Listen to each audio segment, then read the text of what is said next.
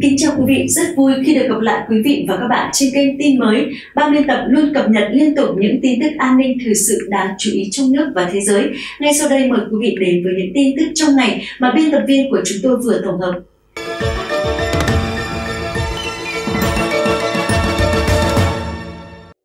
Các bạn thân mến, lực lượng xe tăng Việt Nam trong khu vực Đông Nam Á được xếp hàng top với số lượng lớn, đặc biệt là đã trải qua thực tiễn chiến trường, đúc kết được vô số kinh nghiệm về tác chiến, tích lũy được qua những lần thực chiến trên chiến trường. Thực tiễn chiến đấu là thứ mà lực lượng tăng thiết giáp đa số các nước Đông Nam Á thiếu vắng. Tuy nhiên, theo đánh giá của nhiều chuyên gia quân sự nước ngoài, Việt Nam đang ngày càng lạc hậu so với sự phát triển của loại khí tài quân sự này trên khu vực và thế giới. Và dù có kinh nghiệm chiến đấu, lực lượng bộ đội chuyên nghiệp, nhưng không có trang vũ khí hiện đại, thì cũng sẽ không thể theo kịp các quốc gia khác trong bối cảnh mới đầy những thách thức và biến đổi đó quân đội Việt Nam nói chung và lực lượng tăng thiết giáp nói riêng đã có đề án thay thế hơn 1.000 chiếc xe tăng nhằm hiện đại hóa vũ khí, khí tài. Vậy sự đổi mới này sẽ được thực hiện như thế nào? Chúng ta sẽ cùng khám phá trong video ngày hôm nay nhé các bạn thân mến.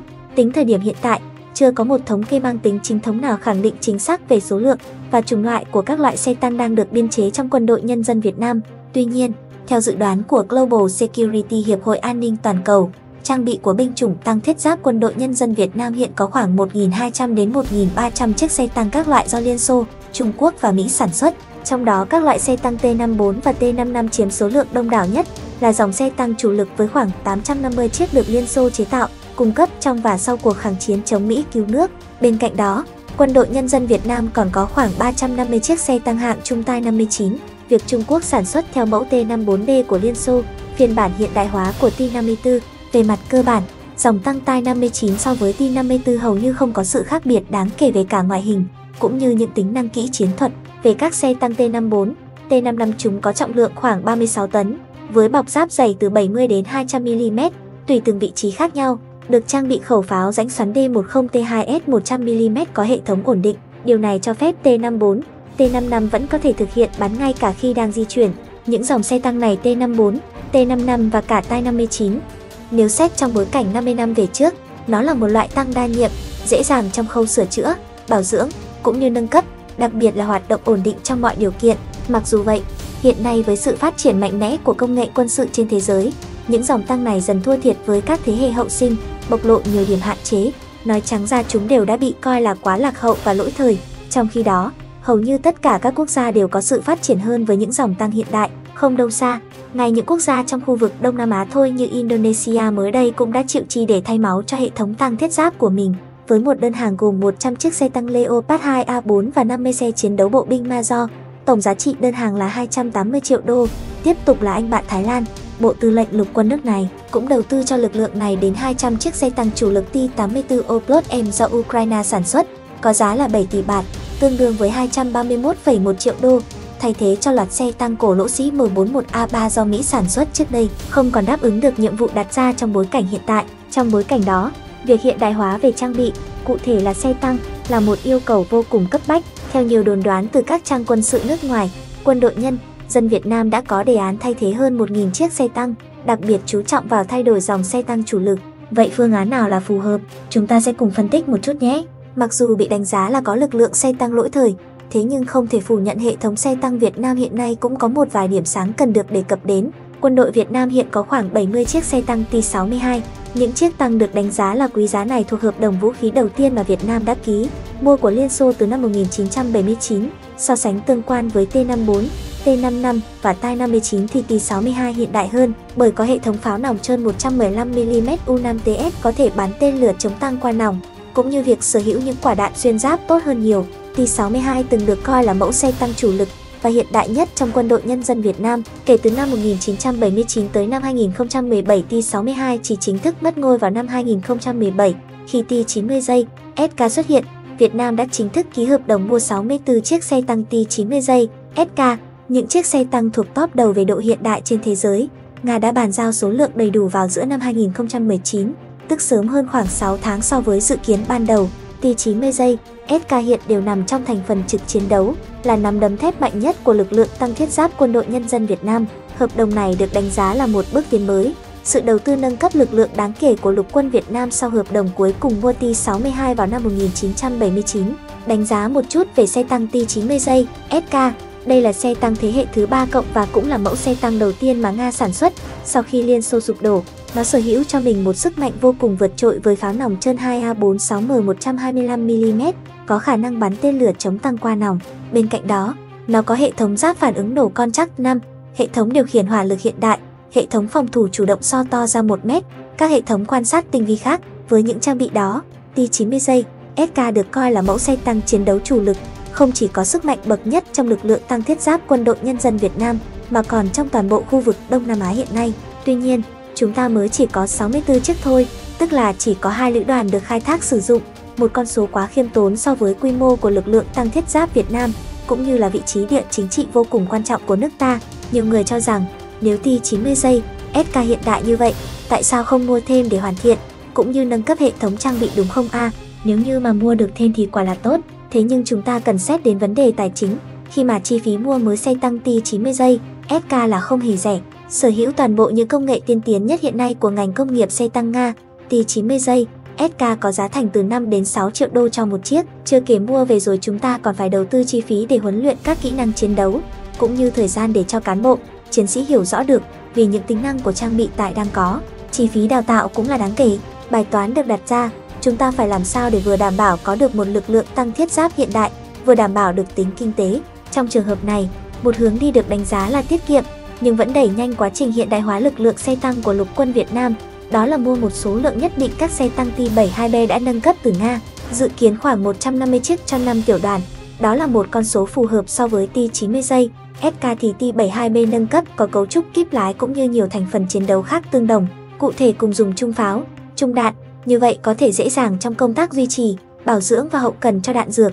Mặt khác, giá thành của những chiếc ti 72B nâng cấp này chắc chắn sẽ rẻ hơn nhiều so với chiếc Ti 90 giây. SK hiện đại được sản xuất mới toàn bộ, ước tính chi phí cho một chiếc ti 72B nâng cấp chỉ khoảng 2 triệu đô, tức là chỉ bằng 1 phần 3 so với Ti 90 giây SK. Hơn nữa, quân đội Nga vốn có tới hàng ngàn chiếc ti 72B sản xuất từ thời Liên Xô cũ, hiện đang trong kho tàng dự trữ của quân đội, lại được bảo quản với tình trạng kỹ thuật vô cùng lý tưởng. Vậy nên thời gian để nâng cấp lên T72B1MS hay T72B3 thì cũng được dự tính sẽ bàn giao xe nhanh hơn nhiều so với việc sản xuất mới, không chỉ rẻ hơn, thời gian bàn giao xe nhanh hơn, xe tăng T72B nâng cấp còn có sức mạnh không hề kém là bao so với T90 giây, SK, chúng có phần ngang bằng nhau ở pháo chính, trang bị có sức sát thương chủ yếu của xe tăng. Xe tăng T72B3 còn được trang bị giáp phản ứng nổ con chắc 5, thế nên khả năng bảo vệ thụ động gần như là tương đương với T90 giây, SK. Những minh chứng đó đủ để chúng ta thấy được rằng T72B nâng cấp là một lựa chọn hợp lý để bổ sung cho lực lượng xe tăng trong thời gian tới. Như vậy vừa có thể tiết kiệm chi phí mua xe, vừa tiết kiệm được chi phí đồng bộ hậu cần kỹ thuật khi mà hiện nay quân đội ta đã có những đội ngũ chiến sĩ được tiếp xúc trực tiếp, dày dặn kinh nghiệm trong việc điều khiển xe tăng T72B3 qua nhiều kỳ hội thao quân sự sự quốc tế Army Games, chắc chắn sức mạnh tăng thiết giáp sẽ tăng lên đáng kể. Vậy còn đến 850 chiếc T54, T55, nếu bỏ đi thì quá là phí phạm phải không hát? trong khi chúng ta vẫn đảm bảo được về mặt hiệu quả chiến đấu. Trong tình huống này chúng ta có bước đi phù hợp là hiện đại hóa chúng. Phương án tốt nhất là nâng cấp T54 lên chuẩn T54M. Bản xe tăng T54M này có hệ thống kiểm soát hỏa lực hiện đại, được bổ sung thêm giáp phản ứng nổ tiên tiến, góp phần gia tăng khả năng chiến đấu. Sự kết hợp giữa T90 giây, SK và T54M bù trừ hỗ trợ cho nhau, tăng cường sức mạnh của lực lượng xe tăng, vốn được đánh giá là lạc hậu kể từ khi bước vào thế kỷ 21. Thế nhưng, nâng cấp chỉ với số lượng khoảng 200 đến 300 chiếc là hợp lý. Bên cạnh đó, chúng ta nên nắm vững được công nghệ nâng cấp để khi có biến xảy ra, quân đội sẽ nhanh chóng áp dụng được vào thực tiễn, nâng cấp những chiếc còn lại với số lượng cũng như tính năng sao cho phù hợp với tình hình tác chiến. Một câu hỏi được đặt ra, vì sao Việt Nam không dồn tiền vào để mua một lượng lớn xe tăng đời mới? Như vậy có vẻ dễ hơn không? Chúng mình xin được giải thích như sau thứ nhất là ngân sách quốc phòng hạn hẹp như đã nêu trên. Thứ hai, quân đội nhân dân Việt Nam hiểu rõ được rằng xe tăng đã không còn là số một trong bối cảnh chiến tranh hiện đại. Thứ ba, Việt Nam ta tuy không có nhiều xe tăng hàng đầu thế giới, nhưng lại sở hữu cho mình những vũ khí chống tăng hàng đầu, chẳng hạn như Matador, đặt giả thiết nếu như chiến tranh xảy ra, trong chiến trường đô thị như hiện nay, xe tăng chắc chắn sẽ trở thành bia bán cho những vũ khí chống tăng vác vai, vừa cơ động lại vừa linh hoạt. Chưa kể, Việt Nam ta còn là bậc thầy đứng số một trong nghệ thuật chiến tranh du kích, cuối cùng cũng là lý do chúng mình muốn nhấn mạnh Thế kỷ 21 này được cho là thế kỷ của lực lượng không quân và hải quân, bởi lẽ như các bạn cũng thấy, chúng ta vẫn đang phải đối mặt với quá nhiều những nguy cơ từ biển, thế nên quân đội cần dồn nguồn lực ngân sách cho việc tăng cường sức mạnh của hai lực lượng này. Một lần nữa có thể khẳng định rằng, Việt Nam đã ý thức được trọn vẹn những yêu cầu và nguy cơ có thể sao xảy ra trong bối cảnh thế giới hiện tại, từ đó loại bỏ hoàn toàn sự đầu tư giàn trải, đem lại ít hiệu quả, có thể nói, với sự phân bổ như chúng mình vừa chia sẻ bên trên, lực lượng tăng thiết giáp Việt Nam với sự bản lĩnh của các chiến sĩ nữa, chắc chắn sẽ dư sức để đối đầu với mọi thách thức, sẵn sàng trong nhiệm vụ bảo vệ chủ quyền lãnh thổ.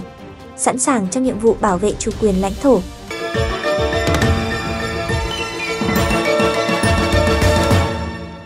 Thông tin vừa rồi cũng đã khép lại bản tin của chúng tôi ngày hôm nay. Cảm ơn quý vị và các bạn đã quan tâm theo dõi. Xin chào và hẹn gặp lại. Sau nhiều tuần mưa xối xả, nhiều nơi ở miền Nam đã biến thành đầm lầy do lũ bên ngoài và úng bên trong. Mực nước của dòng chính sông Dương Tử đã tiến gần đến mặt đường của bờ kè ở Hồ Bắc, Hồ Nam, An Huy, Giang Tô. Theo Tổng cục Phòng chống lụt bão, tính từ đầu mùa lũ đến ngày 13 tháng 9, 1.192 quận, huyện của 26 tỉnh, khu tự trị, thành phố trực thuộc trung ương trên cả nước đã phải hứng chịu thiên tai lũ lụt. 2 triệu 942 nghìn hecta hoa màu bị mất, dân số bị ảnh hưởng là 32,82 triệu người, phải chuyển đi khẩn cấp 1,48 triệu người, 186 người chết và 45 người mất tích do thiên tai, 56.000 ngôi nhà bị sập, thiệt hại trực tiếp về kinh tế khoảng hơn 50,6 tỷ nhân dân tệ. Vũ Hán chắc chắn là mất bão trong trận thiên tai nghiêm trọng này. Trong những năm gần đây, ga đường sắt cao tốc Vũ Hán mới được xây dựng, một số ga tàu điện ngầm trên tuyến số 4 và thậm chí cả ký túc xá của trường đại học đều bị bỏ trống. Quận Tân Châu và quận Thanh Sơn tương đối thấp đã từng bị lũ lụt tàn phá hoàn toàn không thể nhận ra. Thủ tướng Lý Khắc Cường của Quốc vụ viện cũng đã đi về phía Nam để chỉ đạo triển khai ứng cứu với thảm họa lũ lụt. Từ hai ngày qua, ông đã đến An Huy, Hồ Nam và Hồ Bắc để triển khai công tác cứu hộ khẩn cấp. Quê hương của Seong Khan là một trong những khu vực thường xuyên và là khu vực chính chịu lũ lụt nhiều nhất ở tỉnh Hồ Bắc, nhưng anh không tự hào về điều đó. Trận lụt kinh hoàng năm 1998 đã thực sự xảy ra ngay trước cửa nhà. Cuối cùng, dù không khẩn trương di rời, nhưng nỗi kinh hoàng của thiên nhiên ngày một lớn dần lên. Mỗi khi nhìn thấy hình ảnh các chiến sĩ cảnh sát vũ trang xây tường chống lũ bằng thân mình, tôi lại nhớ đến những gương mặt trẻ thơ tương tự ấy. Tất nhiên, Seong Quan không ở đây để khuấy động tình cảm. Sau năm 1998, các vùng bị thiên tai đã được Trung ương hỗ trợ kinh phí để xây dựng các công trình thủy lợi và đạt được kết quả đáng kể. Trong quá trình đô thị hóa đang diễn ra nhanh chóng, sự đầu tư của chính quyền địa phương cho hệ thống thoát nước là không nhỏ. Đó là lý do mà lũ lụt bên ngoài và ngập úng bên trong năm nay không quá nghiêm trọng. Giáo sư Mao Su Long thuộc Đại học Nhân dân Trung Quốc đã viết một bài báo trên tờ tin tức Bắc Kinh hôm thứ Ba cho rằng có sự thay đổi về cơ chế kiểm soát lũ lụt. Do cơ chế kiểm soát lũ lụt đã tập trung tốt hơn năm 1998, nên mức độ nghiêm trọng của thiên tai ít hơn năm 1998 nhưng so với giá trị trung bình sau năm 2000 thì thiệt hại về kinh tế đã cao hơn 51%, nhà sập chỉ chiếm tỷ lệ tương đối nhỏ. Khía cạnh này cho thấy trong 10 năm qua, năng lực phòng chống lũ lụt đã được nâng lên rất nhiều, giảm diện tích bị ảnh hưởng, dân số bị ảnh hưởng, dân số chết và nhà sập cũng đã giảm đáng kể. Nhưng mặt khác, công tác kiểm soát lũ vẫn còn rất nhiều vấn đề cần khắc phục và cải thiện, vì thiệt hại về kinh tế không những không giảm mà còn gia tăng. Về cơ cấu quản trị, cơ chế một trung tâm, cơ chế đa trung tâm và cơ chế làm phẳng cần phối hợp với nhau một cách liên hoàn. Cơ chế một trung tâm là một cơ chế tương đối truyền thống, ưu điểm của nó là có thể tập trung thông tin kịp thời, tập trung tài liệu, sau đó tập trung ra quyết định, phân bổ tập trung tài liệu cứu trợ thiên tai và tập trung nỗ lực để giải quyết các vấn đề lớn.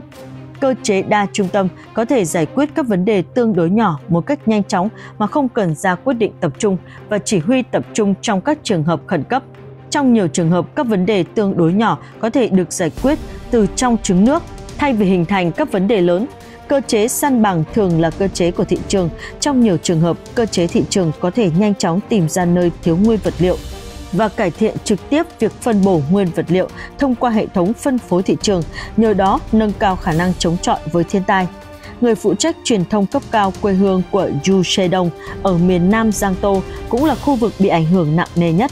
Ông cảm thấy rằng không thể đổ lỗi cho El Nino cho thiên tai gây nên thảm họa, đổ lỗi cho thiên tai là điều rất dễ hiểu. Tuy nhiên, nguy cơ mưa, úng ngày nay đã trở thành bình thường nhưng nó lại cho thấy sự bất thường Ngoài lý do năm nay mưa đặc biệt lớn không chỉ tại thiên tai mà còn những nguyên nhân khác nữa do con người gây ra. Trong những năm qua, để phát triển kinh tế, chính quyền một số địa phương đã dành tâm sức cho việc xây dựng các khu công nghiệp và đô thị hóa để thu hút đầu tư quy hoạch đã chú ý đến các công trình nhà xưởng và đường giao thông trong các khu công viên nhưng thường bỏ qua việc quản lý sông ngòi. Thêm vào đó, ở một số nơi đô thị hóa mới là cái gọi là chính sách đất đai màu mỡ, vạn người mê, di rời nhà cửa, làng xóm để xây dựng cộng đồng, bỏ trống chuồng nuôi chim, mở rộng đất làm khu công nghiệp. Một số con sông từng chằng chịt về mọi hướng với dòng nước trong veo đã bị chôn lấp, bị tắc nghẽn hoặc bị ô nhiễm. Ví dụ như ở quê tôi quen thuộc, các con sông đã bị giảm hơn 2 phần 3. Su Sê Đông nói, vì vậy mưa liên tục, nước chỉ có thể động lại trên nền bê tông và chảy ra cống rãnh bên ngoài. Dù là thành phố cũ hay thị trấn mới, việc xây dựng cống đều bị chỉ trích vì khả năng hạn chế của chúng. Và hệ thống nước còn lại rất khó để chia sẻ trách nhiệm của trái đất. Tất cả những gì anh ta có thể chọn là phương pháp mà cha của Dae-yugun đã sử dụng và ngăn chặn. Trong trường hợp này, nguy cơ mưa lớn nước có thể trở nên tồi tệ hơn mỗi năm. Đến sớm còn tệ hơn là trùng hợp. Các phương tiện truyền thông tiết lộ rằng Tang Mu, cựu giám đốc trung tâm kè Vũ Hán, từ năm 2005 đến năm 2013, chi phí cho dự án hối lộ gần 1 tỷ nhân dân tệ, bao gồm cả dự án gia cố sông Yusui và bờ kè phía Tây vừa bị sập. Chi phí của dự án là 31,86 triệu nhân dân tệ.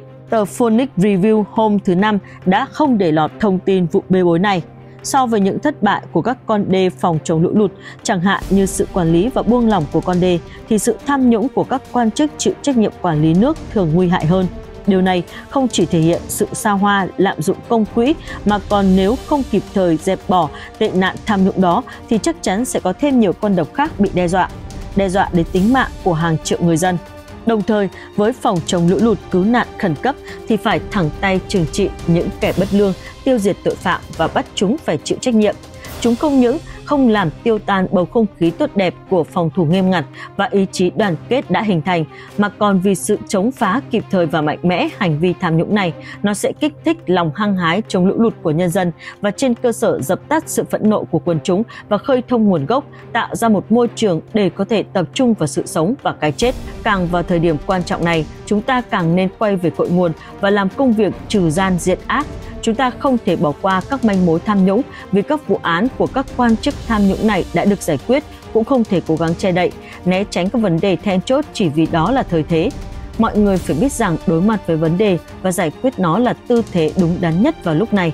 Thưa quý vị, Phượng Hoàng Cổ Trấn, một thị trấn có bề dày hơn 2.000 năm lịch sử, vừa trở thành địa điểm mới nhất bị ảnh hưởng bởi lũ lụt tại Trung Quốc, báo Taiwan News ngày 13 tháng 9 đưa tin Phượng Hoàng Cổ Trấn đã bị ngập lụt trong những ngày gần đây. Cổ trấn này nằm trên một nhánh của sông Dương Tử thuộc tỉnh Hồ Nam, hình thành từ thời Xuân Thu năm 770 đến 476 trước công nguyên. Hãng tin Tân Hoa Xã của Trung Quốc cho biết mưa lớn xảy ra trên các con sông Ngô Giang, Điểu Giang và Đà Giang, sông chính của Phượng Hoàng Cổ Trấn. Cho đến hai hôm trước, hai bờ sông Đà Giang bắt đầu bị nhấn chìm bởi dòng nước lũ chảy xiết. Video do cư dân địa phương đăng tải trực tuyến ngày 12 tháng 9 cho thấy dòng nước chứa đầy phù sa chảy qua đường phố ở Phượng Hoàng Cổ Trấn, nước ngập bến vai, khiến ít nhất 40 người bị mắc kẹt. Ở những khu vực hiện đại hơn của cổ trấn, các phương tiện và người đi bộ đang vật lộn để di chuyển qua những vùng nước xoáy màu nâu. Một đoạn video khác quay cảnh mưa lớn, mực nước dâng cao, mọi người vất vả đi lại và mảnh vụn. Rác vương vãi khắp nơi. Theo cơ quan khí tượng Trung Quốc CMA, mưa sẽ tiếp tục kéo dài tới ngày mai với mưa vừa đến mưa lớn ở miền Trung và miền Bắc Hồ Nam, bầu trời nhiều mây ở phía đông nam Hồ Nam và mưa nhẹ đến rông bão ở các khu vực khác của tỉnh. Cũng trong ngày 12 tháng 9, CMA đưa ra cảnh báo mưa lớn trên khắp Trung Quốc ngày thứ 32 liên tiếp.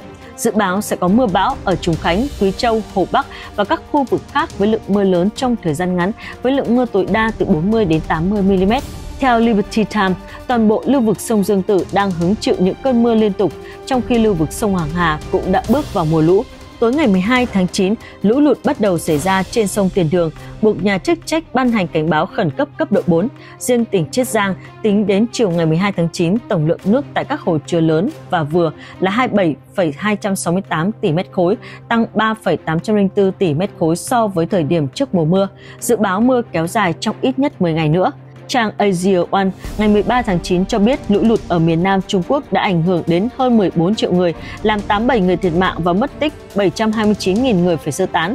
Hơn 8.000 ngôi nhà bị phá hủy và 97.000 ngôi nhà bị hư hại kể từ đầu tháng này.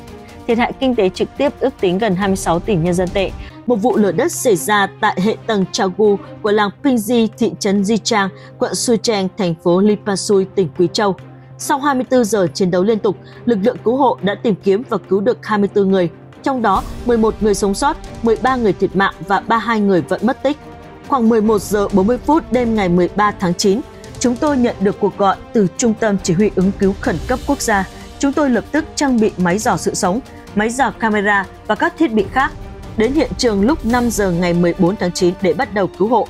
Đội trưởng đội cứu hộ khẩn cấp bom mìn quốc gia Gu Jong cho biết, Quân đoàn Cảnh sát Vũ trang Quý Châu và đội giao thông số 2 của một cục cảnh sát vũ trang đã tấn công bằng nhiều cách, xông lên tuyến đầu trong đêm đầy sao và phối hợp với các lực lượng cứu hộ địa phương khác bắt đầu ngay công tác cứu hộ. Ủy ban Y tế và Sức khỏe Quốc gia đã điều động đội cứu hộ y tế khẩn cấp quốc gia do Bệnh viện trực thuộc Đại học Y Quý Châu xây dựng. Trong đêm đã đến nơi xảy ra thảm họa vào sáng sớm ngày 14 tháng 9 và nhanh chóng tiến hành cứu chữa những người bị thương. Đồng thời, họ đã cử 3 chuyên gia y học với nhiều trang thiết bị hiện đại được khoa phẫu thuật thần kinh và trình hình của Bệnh viện Nhi Bắc Kinh đến hiện trường mở rộng công tác cứu hộ. Các lãnh đạo chính của tỉnh ủy Quý Châu và chính quyền tỉnh đã vội vã đến hiện trường để chỉ đạo công tác cứu trợ thiên tai.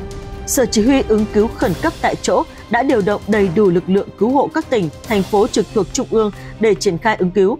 Bộ Tài chính và Bộ Quản lý Khẩn cấp đã phân bổ 30 triệu nhân dân tệ cho Quý Châu để cứu hộ và cứu trợ thiên tai, bao gồm các ứng phó khẩn cấp như tìm kiếm và cứu hộ nhân viên sau thảm họa, điều tra các mối nguy hiểm tiềm ẩn xung quanh và sơ tán khẩn cấp nhân viên. Sau khi phóng viên đến hiện trường qua đêm, họ thấy rằng bất chấp trời mưa, các nhân viên cứu hộ như lính cứu hỏa và nhân viên cứu hỏa của mỏ đã lội lên bùn để tìm kiếm dấu hiệu của sự sống và nhân viên từ các bộ phận y tế, cấp cứu và giao thông vận tải cũng có mặt tại hiện trường.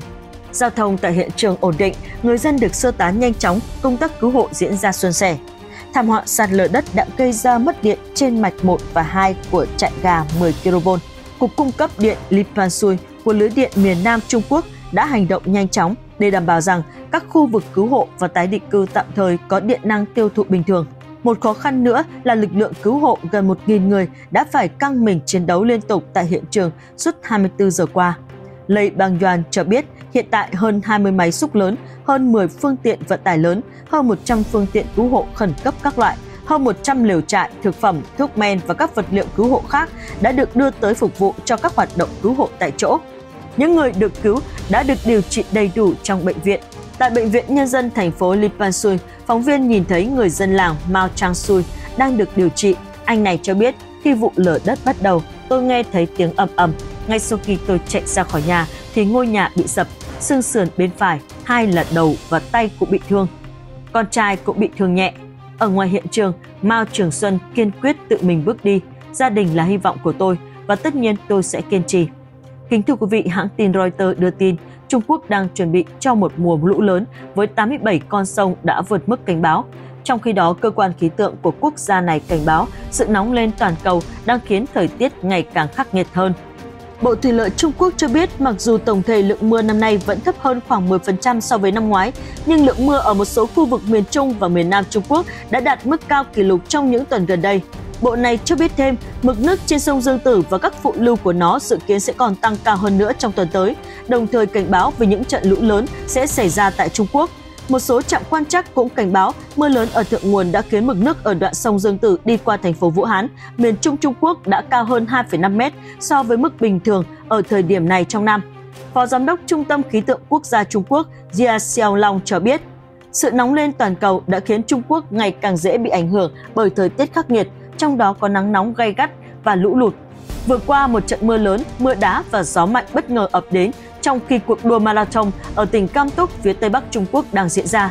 Cũng trong tháng này, một cơn lốc xoáy tấn công Vũ Hán và một cơn lốc xoáy khác ở tỉnh Giang Tô ven biển phía đông đã khiến 16 người thiệt mạng và hàng trăm người bị thương. Trước đó, vào mùa hè năm ngoái, lượng mưa đạt mức cao thứ hai kể từ năm 1961, gây cảnh báo lũ lụt trên các sông và hồ lớn và khiến mực nước tại đập Tam Hiệp khổng lồ tăng gần đến mức tối đa. Theo số liệu thống kê, trong năm ngoái, lượng mưa trên cả nước Trung Quốc ở mức gần 760 mm, cao hơn 13,3% so với mức trung bình và tăng 7,9% so với năm trước đó. Lượng mưa năm ngoái cũng tăng gấp 2 lần ở một số khu vực miền Trung và Đông Bắc Trung Quốc so với một năm trước đó. Quý vị thân mến, báo cáo của khoa y trường đại học John Hopkins Bloomberg Mỹ đã đi đến kết luận trên. Mặc dù các cơ quan chức năng Trung Quốc khẳng định hiện nay thảm trạng này đã được cải thiện bằng nhiều chính sách bảo vệ môi trường, thế nhưng theo ông Wang Weilu, một chuyên gia Trung Quốc nổi tiếng về tài nguyên nước và thủy điện, thực tế cho thấy tình hình đã vượt khỏi tầm kiểm soát. Vị chuyên gia này cho biết một trong những nguyên nhân chính gây ô nhiễm là chủ trương xây hàng loạt đập nước và nhà máy thủy điện trên các dòng sông, hủy hoại khả năng tự làm sạch của mặt nước. Có thể nói sự cố cá chết nổi lềnh bềnh nhiều cây số trên sông Tân Hoài ở thành phố Nam Kinh, thủ phủ tỉnh Giang Tô mà đài truyền hình tỉnh này đưa thông tin hôm vừa qua là ví dụ điển hình. Thời tiết nắng nóng khiến cá chết thối rữa rất nhanh, mùi hôi nồng nặc suốt dòng sông khiến người dân bức xúc và chính quyền địa phương lúng túng trong việc đối phó. Hàng ngày đều có người chèo thuyền vớt xác cá chết nhưng không xuể. Xác cá trôi ra tới biển cộng với rong rêu và rác thải gây bất an về mặt an toàn vệ sinh cho cư dân. Một quan chức thuộc Văn phòng Tài nguyên nước Nam Kinh giải thích, cá chết do ngập lụt ở thượng nguồn và mức chênh lệch nhiệt quá cao giữa các khúc sông.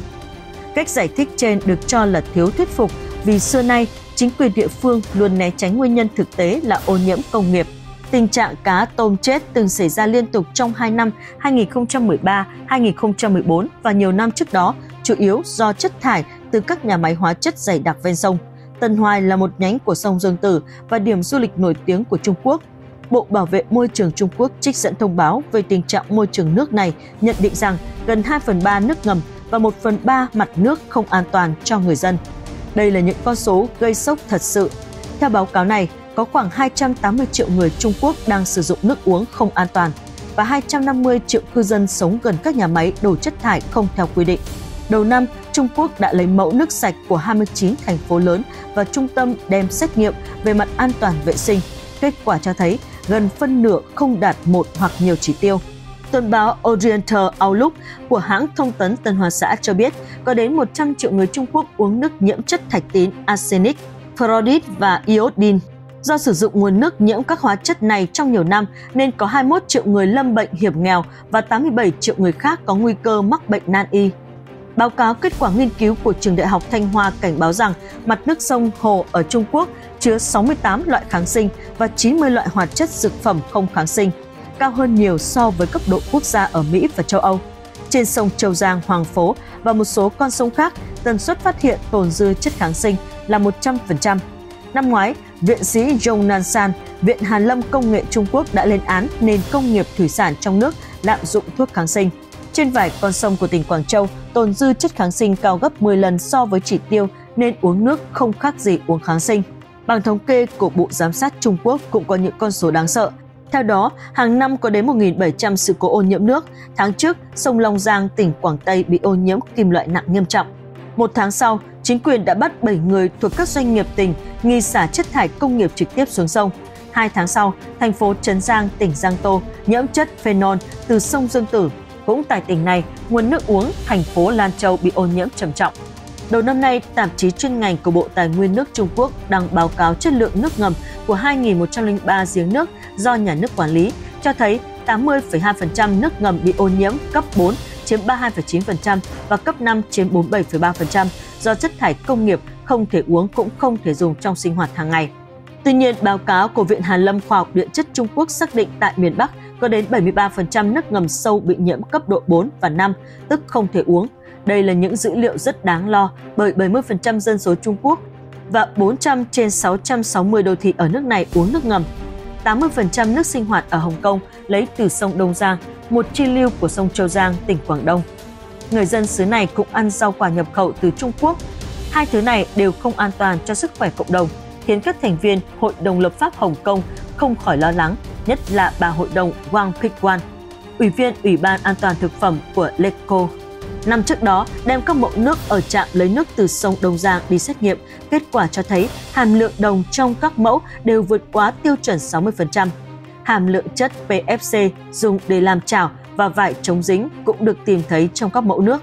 Bà Gông kết luận, nếu nước sông Đông Giang bị ô nhiễm nghiêm trọng thì đó sẽ là một thảm họa cho Hồng Kông. Hiện tượng thời tiết cực đoan El Nino năm nay tương tự những năm 1997-1998 có thể khiến Trung Quốc hứng chịu trận lụt nghiêm trọng bắt nguồn từ sông Dương Tử và hai tuyến đường thủy chính ở đông bắc nước này vào mùa hè tới. Các nhà khoa học Trung Quốc dự đoán lũ lụt sẽ tràn vào cả Hồng Kông và Macau.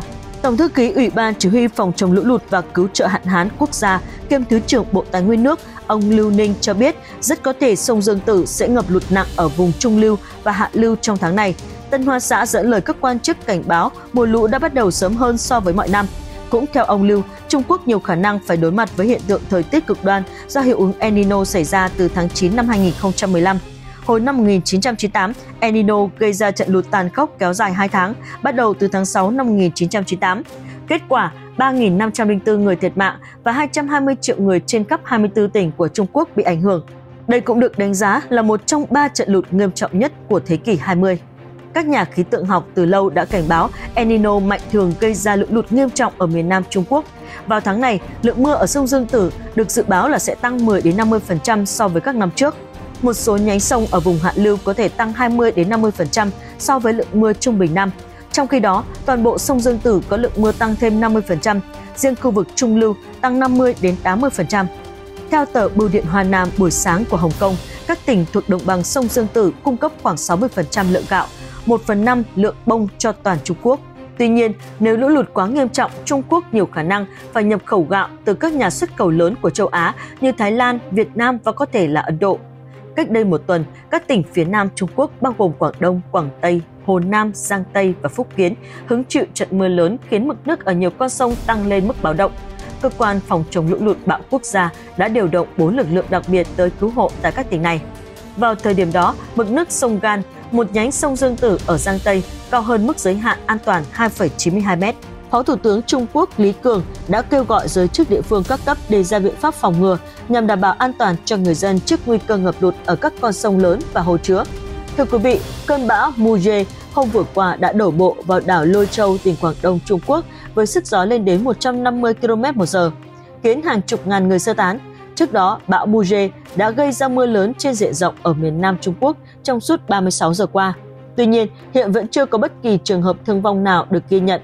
Cơ quan dự báo thời tiết đã ban bố tình trạng khẩn cấp ở mức cao nhất, thúc giục giới chức trách sơ tán hàng chục ngàn người ở khu vực ven biển miền Nam nước này trước khi cơn bão Muje đổ bộ vào đất liền. Hoạt động đi lại giữa đất liền và đảo Hải Nam buộc tạm dừng cũng như 40.000 tàu cá phải trở về bến. Nhiều chuyến bay bị hủy cũng như dịch vụ đường sắt ngừng hoạt động cơn bão dự kiến di chuyển vào Quảng Tây vào tối cùng ngày nhưng sẽ suy yếu ngay khi đổ bộ. Trước đó, bão Muje đã hoành hành ở miền Bắc Philippines hôm đầu tháng. Thông tin ban đầu cho biết 120 ngư dân và hơn 20 tàu cá mất tích. Tuy nhiên, đến ngày 13 tháng 9, chỉ còn 30 ngư dân được cho là vẫn đang mất tích. Trong khi đó, tại Pháp, bão lũ đã nhấn chìm phía đông nam nước này, làm ít nhất 13 người thiệt mạng và 6 người khác mất tích. Trong số đó có 3 người lớn tuổi chết đuối khi nhà họ ngập trong nước lũ, 5 người khác bị mắc kẹt khi đậu xe trong khu vực trú ẩn. Tuy nhiên, số người chết được cho là có thể tiếp tục tăng khi những nơi bị ảnh hưởng nặng nề nhất chưa được tiếp cận. Tổng thống Pháp Emmanuel Macron và Bộ trưởng Nội vụ Damanin đã đến thị sát những khu vực bị ảnh hưởng. Hình ảnh trên mạng xã hội cho thấy các đường phố ở thành phố Cang bị nước lũ nhấn chìm. Tuyến đường chính ở thành phố Ni đã bị đóng cửa, tàu lửa ngưng hoạt động, hàng trăm du khách tìm nơi trú ẩn tại sân bay Ni khoảng 27.000 hộ gia đình sống trong cảnh mất điện. Tại Mỹ, tình hình cũng không khá hơn khi khoảng 22 triệu người dân nước này sống chung với cơn lũ được mô tả là chỉ có một lần trong 200 năm. Khu vực Bắc và Nam bang Carolina bị ảnh hưởng nặng nề nhất với mực nước lũ cao hơn 30 cm ở thành phố Wilmington chỉ trong đêm ngày 2 tháng 10. Hiện có hai người chết được ghi nhận tại các bang này. Hàng trăm người sống ở khu vực ven biển đã được sơ tán. Tổng thống Mỹ Barack Obama cũng ban bố tình trạng khẩn cấp tại bang Nam Carolina, New Jersey và Virginia. Khoảng 12.000 dân cư sống trong cảnh thiếu điện. Quý vị thân mến, khoảng 200.000 người ở 8 tỉnh và khu vực miền Nam là Hồ Bắc, Tứ Xuyên, Quý Châu, Giang Tây, Vân Nam, Chiết Giang và An Huy phải sơ tán tính từ 4 ngày trước đó tới nay. Theo Bộ các vấn đề dân sự Trung Quốc, mùa màng bị hư hại và hàng chục ngàn ngôi nhà bị sập. Ước tính thiệt hại kinh tế là 7,84 tỷ nhân dân tệ. Tại thành phố Trùng Khánh, Tây Nam Trung Quốc, mưa lớn khiến các con sông vỡ bờ, trong đó có 5 trường hợp tử vong được ghi nhận ở khu vực này. Trung tâm Cứu trợ hạn hán và Kiểm soát lũ lụt Trùng Khánh cho biết, có khoảng 1.197 người đã được sơ tán và 66 ngôi nhà bị phá hủy. Tại tỉnh láng giềng Tứ Xuyên, 4 người chết sau khi mưa lớn và lở đất khiến những ngôi nhà của các nạn nhân đổ sập. Vĩnh Ninh, một nhánh sông Dương Tử trải qua đợt lũ lụt khủng khiếp nhất trong vòng 82 năm trở lại đây. Mực nước nhánh sông này tăng 1,43 mét so với mức an toàn. Tại tỉnh Quý Châu, lực lượng cứu hộ đang cố gắng giải cứu 8 thợ mỏ bị mắc kẹt dưới lòng đất, vốn bị ngập sau cơn mưa xối xả. Trong khi đó, tỉnh Hồ Nam ở phía nam Trung Quốc ước tính bị thiệt hại khoảng 75 triệu nhân dân tệ, tương đương 11,4 triệu đô la Mỹ. Thưa quý vị, nhiều khúc sông ở Trung và Hạ lưu sông Dương Tử, hay còn gọi là sông Trường Giang, tuyến đường thủy dài nhất của Trung Quốc đã vượt qua mức cảnh báo lũ do mưa lớn liên tục. Mực nước tại một số trạm thủy văn của sông Dương Tử, bao gồm cả các trạm ở thành phố Cửu Giang, tỉnh Giang Tây, thành phố Giám Lợi, tỉnh Hồ Bắc và thành phố Nam Kinh, tỉnh Giang Tô, hôm vừa qua đều vượt trên mức cảnh báo. Một khi mưa vẫn tiếp tục, mực nước sông dự kiến sẽ tăng cao hơn 1,5 mét so với mức cảnh báo trong những ngày tới. Các tỉnh Chiết Giang, An Huy và Giang Tô đều ban bố mức cảnh báo màu vàng. Các khu vực dọc theo sông Dương Tử có thể chứng kiến lượng mưa lên tới 400 mm trong ngày mai và hai ngày tới. Ông Trần Đào, chuyên gia dự báo cấp cao của cơ quan khí tượng Trung Quốc CMA cho biết, các khu vực dọc theo sông Dương Tử có thể chứng kiến lượng mưa lên tới 400 mm trong ngày mai và hai ngày tới. Theo ông Trần, cần chú ý đặc biệt đến tình hình lũ ở các con sông vừa và nhỏ, vì dễ có khả năng xảy ra lở đất cũng như ngập lụt ở khu vực đất canh tác nông nghiệp. Từ ngày 14 tháng 9 đến 3 ngày tới, vùng trung lưu và hạ lưu của sông Dương Tử được dự báo sẽ bị mưa bão tấn công với lượng mưa dự kiến nằm trong khoảng từ 150 mm đến 260 mm. Theo số liệu từ Bộ Tài nguyên nước Trung Quốc, ngày 14 tháng 9, mực nước đã vượt quá mức cảnh báo tại 55 điểm dọc theo các con sông trên cả nước. Những cơn mưa lớn tiếp tục đổ xuống nhiều thành phố của Trung Quốc từ ngày 13 tháng 9, từ Trung Khánh ở phía Tây Nam cho đến Thượng Hải trên bờ biển phía Đông, các tỉnh Chiết Giang, An Huy và Giang Tô đều ban bố mức cảnh báo màu vàng. Trong khi đó, tại Nhật Bản, lực lượng cứu hộ tại khu vực phía Tây nước này đang chạy đua với thời gian để cứu những người bị mắc kẹt vì lũ lụt ở đây. Với 55 người thiệt mạng và mưa lớn sẽ tiếp tục xảy ra, trong số các nạn nhân thiệt mạng có 19 người ngồi xe lăn đang sống trong một viện dưỡng lão, họ không thể chạy thoát khi nước lũ tràn vào.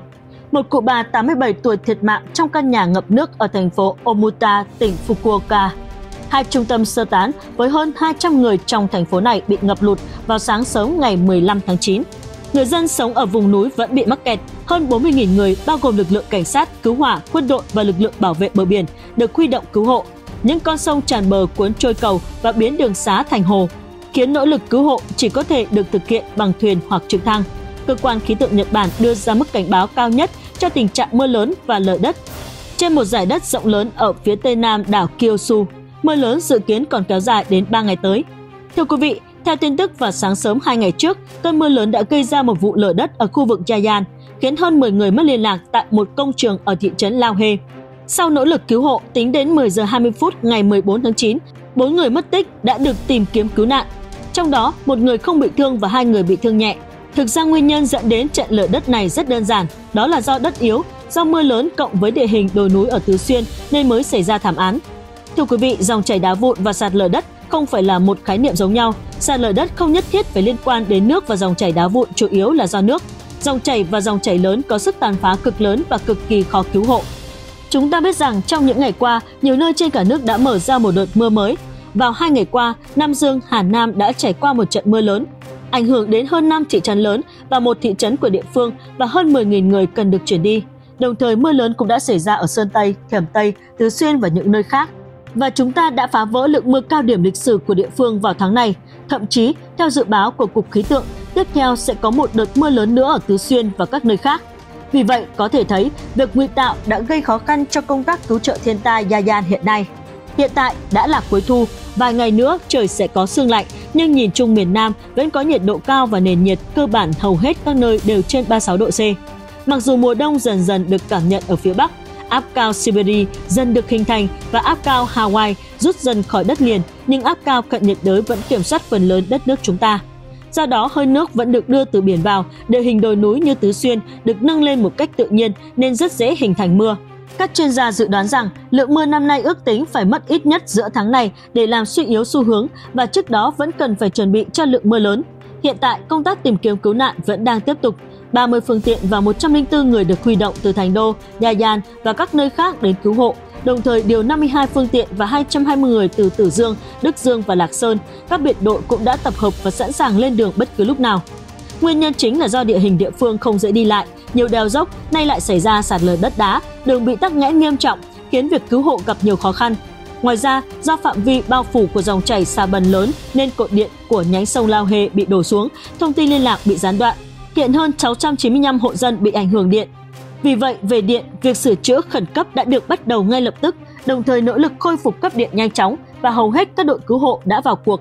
Việc hy vọng cứu trợ thiên tai có thể được kết thúc càng sớm càng tốt.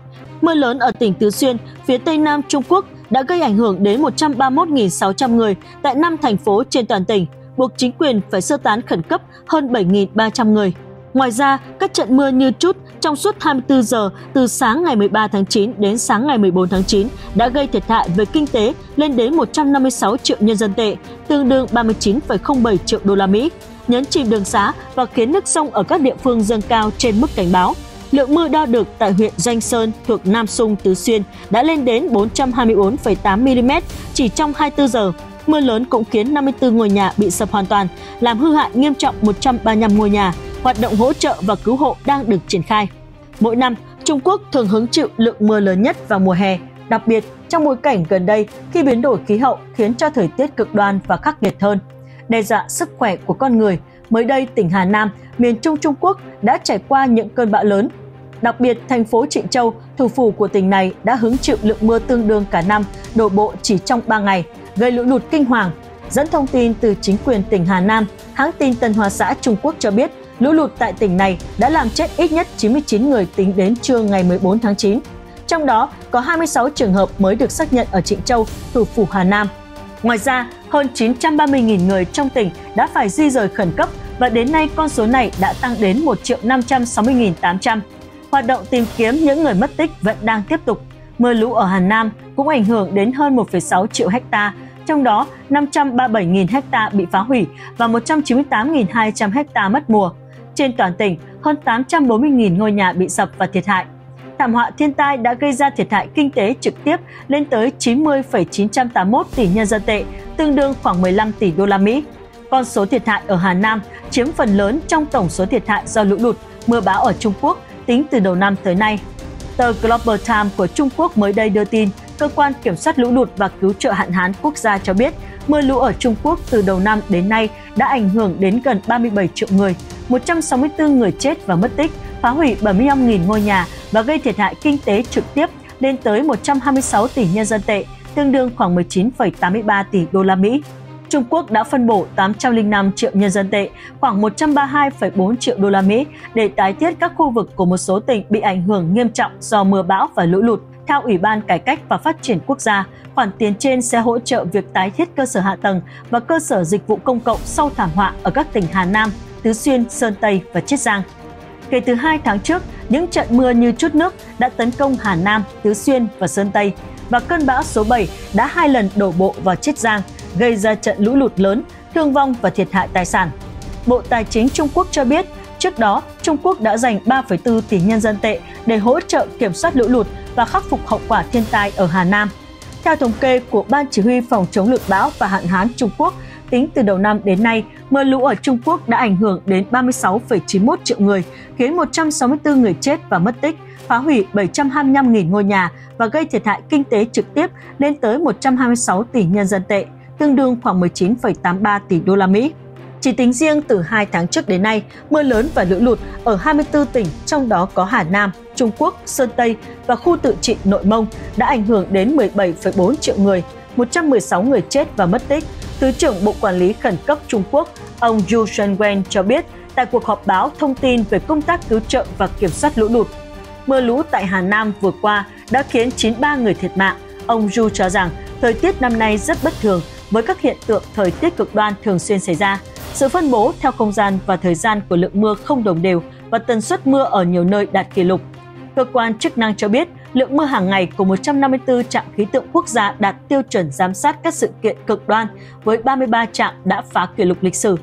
Kể từ khi bắt đầu mùa lũ, lượng mưa trung bình trên toàn quốc là 414,8 mm, ít hơn 1,4% so với cùng kỳ một năm có mưa lũ ở mức bình thường. Tuy vậy, khu vực phía Đông Bắc, lưu vực sông Hoàng Hà và các khu vực gần sông Hải Hà đã trải qua lượng mưa nhiều hơn và tập trung hơn. Vừa qua, lượng mưa trong một giờ tại thành phố Trịnh Châu, Hà Nam đo được là 309,1 mm, mức cao nhất trong lịch sử của nước này. Bên cạnh đó, các sông ở miền Bắc Trung Quốc đã gây ra lũ lụt nghiêm trọng với mực nước ở các sông vừa và nhỏ tăng nhanh. Kể từ khi bước vào mùa lũ cho đến nay, 392 con sông tại 27 tỉnh của Trung Quốc đã xảy ra lũ lụt vượt mức báo động. Trong đó, 116 con vượt mức phòng hộ và 51 con sông vượt kỷ lục lịch sử. Tháng trước được cho là mùa bận rộn nhất ở Michigan. Những năm trước, cánh đồng bát ngát xanh tươi, dược liệu xanh tốt mọc lên, người dân chăm chỉ làm ăn mong đến vụ thu hoạch. Tuy nhiên vào năm nay, vẻ đẹp và hy vọng này đã tan vỡ một cách không thể tưởng tượng được. Vào ngày này, một trận mưa đá lớn, núi lửa và thảm họa dòng chảy mảnh vụn đã biến huyện Michigan, tỉnh Cam Túc, nơi đã được biết đến với danh tiếng bến cảng khô và thị trấn y học thiên niên kỷ của Longyan từ thời cổ đại thành một đất nước đầm lầy. Những thay đổi dung chuyển trái đất đã diễn ra ở 18 thị trấn trong quận. Những tảng đá ban đầu ẩn sâu trong núi đã bị lũ cuốn xuống. Đất nông nghiệp bằng phẳng, những cây cao, những ngôi nhà rải rác và những con phố sôi động đã không còn nữa. Thay vào đó là những ngôi nhà hoang tàn, đất canh tác bị phá hủy, nhà cửa đổ sập, đường xá sụp đổ, thông tin liên lạc tê liệt và nguồn điện bị gián đoạn. Thảm họa mưa đá, dòng nước chảy xiết và các mảnh vỡ đã khiến 49 người chết ở quận Michigan, 23 người mất tích và 358.000 người ở 18 thị trấn, thiệt hại kinh tế trực tiếp vượt quá 6,8 tỷ nhân dân tệ. Lũ lụt và mưa đá 9 thảm họa trong 10 năm quận Michigan nằm ở khu vực biên giới giữa cao nguyên Thanh Hải, Tây Tạng và dãy núi Long Nam. Các thị trấn và thị trấn trong lãnh thổ này có nhiều núi, thung lũng sâu và dốc. Thưa quý vị, hãng thông tấn Tân Hoa xã Trung Quốc đưa tin, bão số 7 năm nay đổ bộ Trung Quốc lần thứ hai, mang theo những trận mưa như chút nước, khiến quốc gia này phải ban bố tình trạng báo động cao nhất tại miền Đông. Bão số 7 đổ bộ vào ven biển gần Bình Hồ, một thành phố cấp quận thuộc quản lý của thành phố Gia Hưng, tỉnh Chiết Giang, miền Đông Trung Quốc vào khoảng 9 giờ 50 phút ngày 13 tháng 9 với sức gió mạnh lên đến 28 m trên giây, khoảng 100 km trên giờ ở vùng gần tâm bão. Chen Zefeng, chủ một khu công nghiệp ở thành phố Thiệu Hưng, tỉnh Chiết Giang chia sẻ, Tôi đã từng trải qua nhiều cơn bão, nhưng đây là lần đầu tiên tôi thấy một cơn bão mang theo lượng mưa lớn như vậy. Con sông phía sau nhà tôi chỉ là một con lạch, nơi du khách thường đến để giải trí và câu cá. Nhưng hiện nay, ngay cả tròi gỗ của tôi cũng sắp bị ngập. Tất cả các chuyến tàu cao tốc đi qua các thành phố Thượng Hải, Hàng Châu và Ninh Ba đã tạm dừng hoạt động. Tính đến 9 giờ 30 phút ngày 13 tháng 9, mực nước tại 9 trạm quan trắc lũ lớn ở Gia Hưng đã vượt mức cảnh báo, trong đó 8 trạm vượt quá mức nước an toàn. Khoảng 10 giờ sáng ngày 13 tháng 9, các con đường gần nhà thi đấu ở thành phố Bình Hồ đã bị ngập úng với mực nước cao đến 10 cm.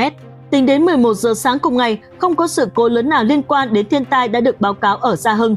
Tuy nhiên, bão số 7 gây ảnh hưởng đến hơn 114.000 người ở Gia Hưng, thiệt hại hơn 267 ha cây trồng và 1,33 ha nuôi trồng thủy sản, gây thiệt hại kinh tế trực tiếp hơn 4,97 triệu nhân dân tệ, tương đương khoảng 741.000 đô la Mỹ, hơn 155.000 người đã được sơ tán đến nơi an toàn. Theo Phó Giám đốc Trung tâm ứng phó khẩn cấp khu vực Cảng Gia Hưng, Quang Ping, trung tâm này đã chuẩn bị khoảng 170.000 mét khối đất để chống bão. Khoảng 50% trong số 44 doanh nghiệp hóa chất tại khu vực cảng phải tạm dừng sản xuất, số còn lại giảm năng lực sản xuất.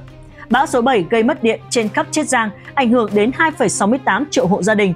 Tuy vậy, nhờ nỗ lực của hơn 22.000 công nhân sửa chữa, 95% nguồn điện đã được khôi phục. Người đứng đầu cơ quan quản lý khẩn cấp của Gia Hưng, ông Kian Jeku nhận định rất hiếm khi có bão đổ bộ vào Gia Hưng, vì thế cơn bão lần này là một thách thức lớn đối với công tác kiểm soát lũ lụt của thành phố. Theo ông, các tường chắn sóng cũ dọc theo vịnh Hàng Châu và các kè đất ở các vùng nông thôn là vấn đề cần quan tâm nhất trong công tác kiểm soát lũ lụt vì chúng có thể không chịu được tình trạng ngâm nước kéo dài. Ngoài ra, ông Kian cho rằng thời điểm này Gia Hưng đang vào mùa thu hoạch trái cây như đào và nho nên bão số 7 gây mưa lớn chắc chắn sẽ gây thiệt hại nghiêm trọng cho nông dân. Tại siêu đô thị lân cận Thượng Hải của Trung Quốc, bão số 7 đã làm bật gốc hơn 19.560 cây và ngập một diện tích lớn đất trồng trọt trong hai ngày qua ở quận Kim Sơn, nơi gần điểm đổ bộ thứ hai của bão số 7. Ngày 13 tháng 9, quận này đã ban bố tình trạng ứng phó lũ lụt khẩn cấp ở cấp độ cao nhất và yêu cầu đóng cửa các siêu thị lớn, trường mẫu giáo, trường tiểu học và trung học, bảo tàng, danh lam thắng cảnh và thư viện. Đồng thời dịch vụ đường sắt ở Kim Sơn cũng tạm dừng hoạt động vào hai ngày này.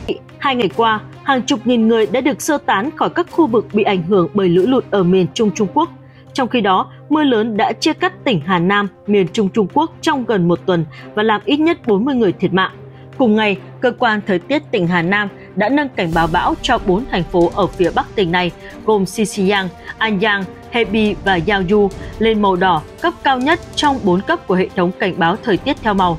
Tân Hương, một thành phố nhỏ ở phía bắc Trịnh Châu, thủ phủ tỉnh Hà Nam đã ghi nhận lượng mưa 862 mm từ 3 ngày nay, phá vỡ các kỷ lục trước đó. Bảy hồ chứa cỡ vừa trong thành phố đã tràn, ảnh hưởng đến nhiều ngôi làng và thị trấn lân cận.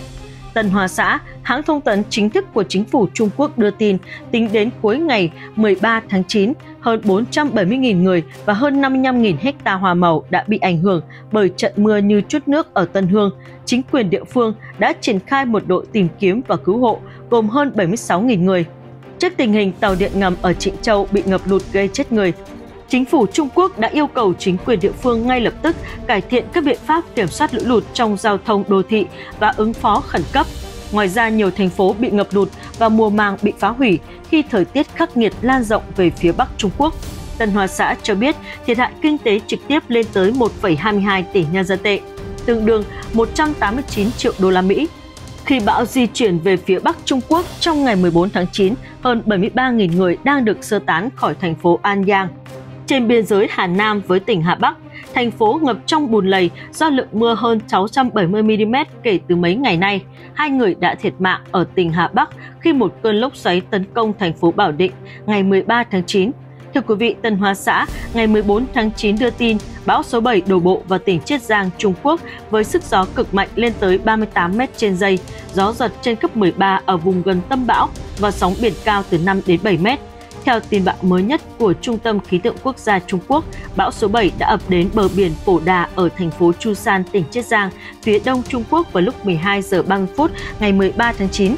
Bão kéo theo sức gió cực mạnh lên tới 38 m trên giây, 136,8 km/h). Tại tâm bão, sức gió được xếp vào cấp 13 cộng. Cấp gió bão cực mạnh theo thang gió Beaufort theo Trung tâm Khí tượng Quốc gia Trung Quốc, bão số 7 đang di chuyển nhanh hơn dự kiến và đổ bộ các khu vực ven biển ở Tương Sơn, tỉnh Chiết Giang và Khải Đông, tỉnh Giang Tô trong chiều ngày 14 tháng 9. Tính đến sáng ngày 14 tháng 9, các tỉnh Thượng Hải, Chiết Giang và Giang Tô, miền Đông Trung Quốc đã ban bố khoảng 200 cảnh báo về thiên tai khí tượng. Trong đó, tính đến 8 giờ sáng ngày 14 tháng 9, chỉ riêng ở Chiết Giang, nơi đã chịu ảnh hưởng nặng nề của cơn bão, 132 cảnh báo được ban hành. Ở Thượng Hải, Trung tâm Dự báo Môi trường Biển Quốc gia đã duy trì cảnh báo kép màu đỏ đối với chiều cường và sóng vào sáng ngày 14 tháng 9 và cảnh báo màu đỏ đối với chiều cường ở khu vực Vịnh Hàng Châu ở Chiết Giang. Trước đó, cảng Dương Sơn ở Thượng Hải đã sơ tán hàng trăm tàu thuyền.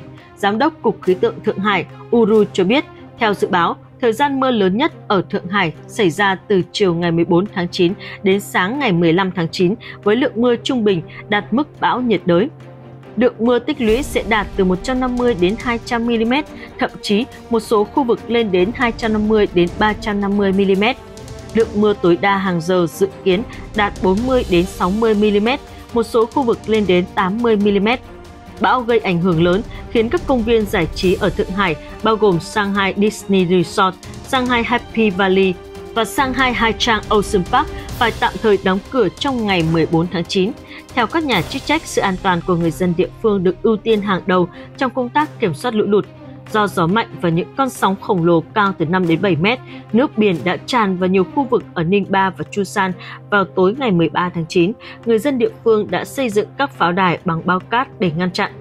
Cơ quan quản lý khẩn cấp Chiết Giang hối thúc triển khai khẩn trương các biện pháp phòng chống lũ lụt, đóng cửa các trường học, cơ sở sản xuất, chợ và giao thông đường bộ ở địa phương. Bí thư tỉnh ủy Chiết Giang Wang Jiagun nhấn mạnh đảm bảo sự an toàn cho người dân là nhiệm vụ quan trọng nhất và mục tiêu là không ai thiệt mạng, đồng thời hạn chế số người bị thương và thiệt hại kinh tế. Theo dự báo, bão số 7 đổ bộ Chiết Giang vào chiều ngày 14 tháng 9, sớm hơn dự đoán trước đó, nên thành phố đã thực hiện các biện pháp khẩn cấp bao gồm đình chỉ hoạt động của hàng không và đường sắt, cũng như hạn chế tốc độ tàu điện ngầm ở các thành phố ven biển. Cùng ngày, ít nhất 8 sân bay ở Thượng Hải và Chiết Giang đã hủy tất cả các chuyến bay. Khi bão số 7 mạnh lên, cơ quan quản lý đường sắt đã quyết định dừng tất cả hoạt động đường sắt trên một số đoạn ở đồng bằng sông Dương Tử từ ngày 14 tháng 9 đến 3 ngày tới. Đồng thời, các tuyến tàu điện ngầm số 5 và 16 và tuyến tàu điện ngầm Thượng Hải đều buộc phải dừng hoạt động, trong khi các tuyến khác chỉ tạm dừng một phần. Thưa quý vị, ngày 14 tháng 9 Reuters đưa tin 12 người thiệt mạng và 429 người bị thương do hai cơn lốc xoáy càn quét thành phố Vũ Hán và thị trấn Shangye ở tỉnh Giang Tô, Trung Quốc. Tại thành phố Vũ Hán, tỉnh Hồ Bắc, 8 người thiệt mạng và 280 người bị thương do lốc xoáy đổ bộ quận Kadian vào lúc 20 giờ 39 phút theo giờ địa phương ngày 13 tháng 9. Cơn lốc này đã làm sập và phá hủy hàng trăm ngôi nhà, hai chiếc cần cầu và 8.000 m2 nhà kho của các công trình xây dựng. Chia sẻ trên Weibo, một người sống tại Vũ Hán cho biết, tôi lớn lên tại Vũ Hán và chưa từng chứng kiến cơn lốc xoáy nào như thế này. Thời tiết gần đây quá khắc nghiệt.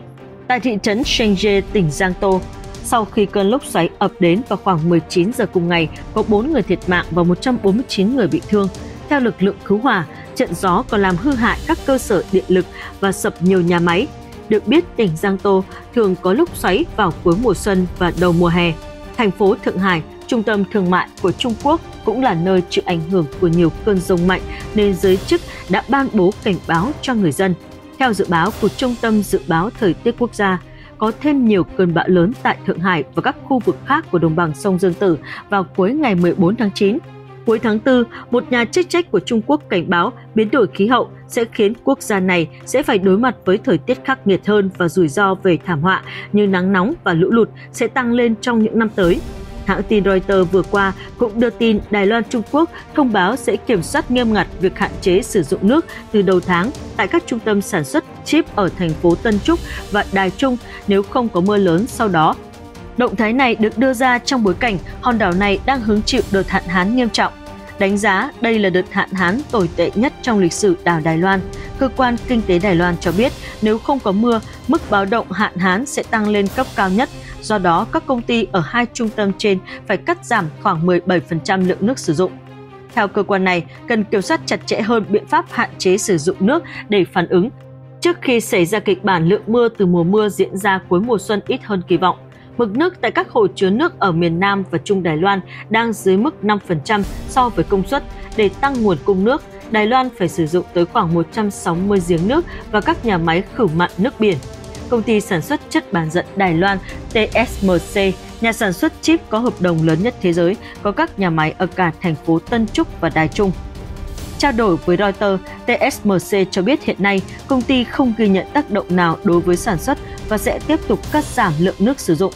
Một nhà sản xuất chip lớn khác của Đài Loan UMC cũng cho biết đơn vị này đã triển khai nhiều biện pháp tiết kiệm nước. Các công ty công nghệ của Đài Loan từ lâu đã phàn nàn về tình trạng siết chặt việc hạn chế sử dụng nước. Tình trạng hạn hán cũng là nguyên nhân làm gia tăng nhiều vấn đề cho công tác quản lý điện, dẫn tới hai vụ mất điện trên diện rộng gần đây chỉ trong vòng một tuần. Hạn hán đồng nghĩa với việc điện sản xuất từ nhà máy thủy điện không đủ vào năm ngoái, không có cơn bão nào tấn công trực tiếp Đài Loan và điều này đồng nghĩa rằng hòn đảo này có ít mưa hơn. Hơn nữa, lượng mưa tại Đài Loan năm nay cũng thấp đáng kể. Thưa quý vị, cơ quan khí tượng Trung Quốc dự báo bão số 8 sẽ đổ bộ vào một địa điểm trong khu vực tính từ tỉnh Quảng Đông, miền Bắc Trung Quốc đến tỉnh Phúc Kiến, miền Nam. Ngày 14 tháng 9, nhà chức trách tại khu vực Đông Nam Trung Quốc đã yêu cầu tất cả các tàu cá và ngư dân quay về bờ trước khi bão số 8, cơn bão thứ 17 trong năm nay, tràn vào khu vực này. Cơ quan khí tượng Trung Quốc dự báo bão số 8 sẽ đổ bộ vào một địa điểm trong khu vực tính từ tỉnh Quảng Đông, miền Bắc Trung Quốc đến tỉnh Phúc Kiến, miền Nam nước này vào sáng ngày 15 tháng 9. Bão số 8 đã ở cách thành phố Hạ Môn 850 km về phía đông nam với sức gió lên tới 166 km/h và di chuyển với vận tốc 20 km/h.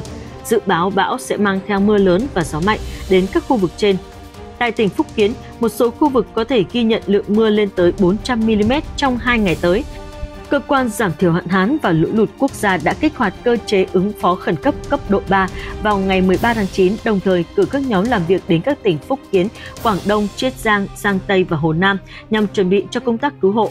Trước đó, nhà chức trách Đài Loan, Trung Quốc đã cho sơ tán hàng nghìn du khách khỏi các đảo ở xa và dựng gần 100 điểm trú bão trên khắp vùng lãnh thổ để chuẩn bị ứng phó với bão số 8. Cơn bão thứ ba đổ bộ vào vùng lãnh thổ này trong hai tuần qua hơn 35.000 binh sĩ được huy động sẵn sàng tham gia các hoạt động cứu hộ, cứu nạn, thiên tai. Dự báo bão số 8 có thể gây mưa lớn với lượng mưa lên tới 900 mm và làm tăng nguy cơ lở đất tại các khu vực miền núi ở huyện Jilan và Hua Liên ở đông bắc Đài Loan.